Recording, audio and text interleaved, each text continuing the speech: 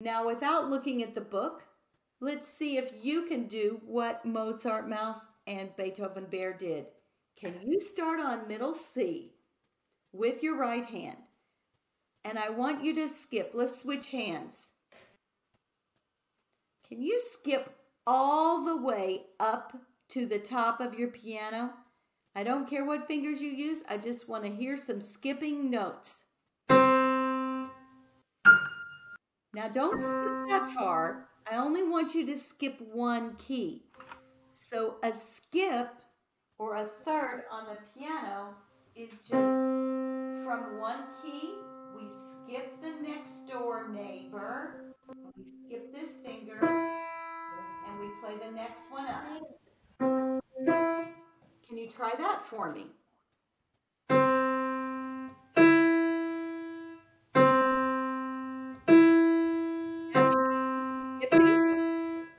The E and skip up a, a, a skip from E.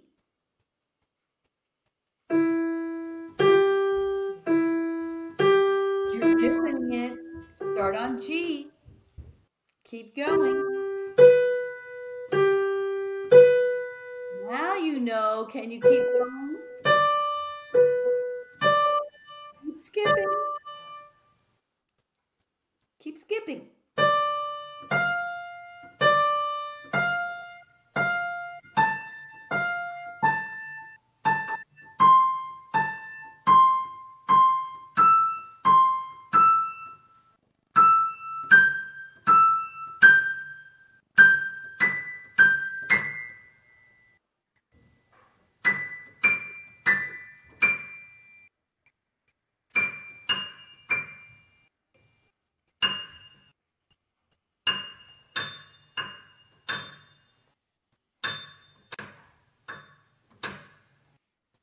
Wow, that was a skipping extravaganza.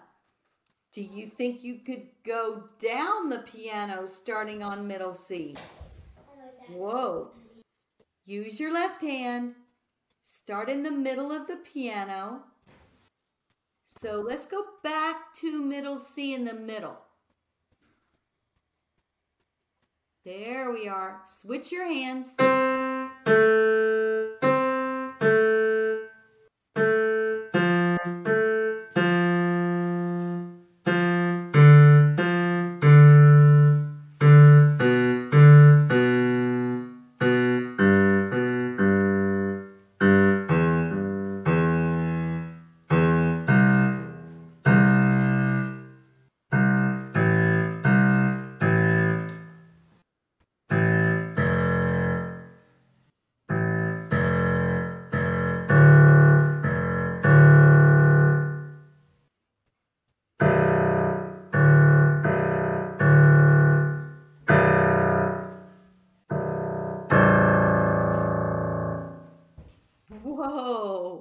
Which one do you like better? Going up or going down? Down. Down was fun, wasn't it? Yeah. Now, here's a reminder. I think you might know this that when you have a note on a line, if that note moves down to the very next line, that is a skip. So in our bass clef here, we have a C, and this is a line note, and I'm going to point to the next one.